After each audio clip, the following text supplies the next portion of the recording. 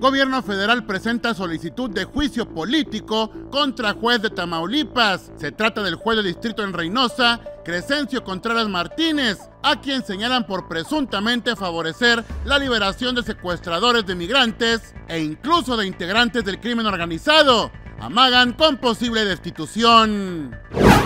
Rinde su primer informe de actividades María Santiago de Villarreal al frente del DIF estatal. En su mensaje exhortó a los tamaulipecos a adoptar la costumbre de apapachar a la gente en situación vulnerable y que más lo necesita.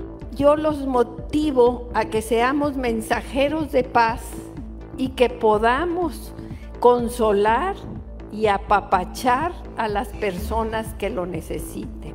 Un apapacho puede ser la solución de un problema admite alcalde de Río Bravo que sí sucedieron enfrentamientos alrededor de la presidencia municipal. Joel Eduardo Yáñez Villegas reconoció que durante la jornada violenta él no estaba en la ciudad y que atender dichas situaciones es responsabilidad del Estado. Fíjate que eh, el día en el que se suscitaron los hechos yo no me encontraba en la ciudad.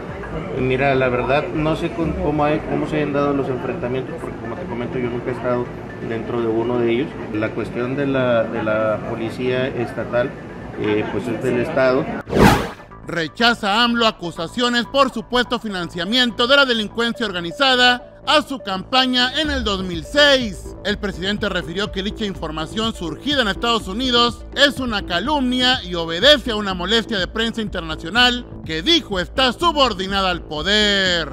No hay ninguna prueba son unos viles calumniadores, aunque los premien como buenos periodistas.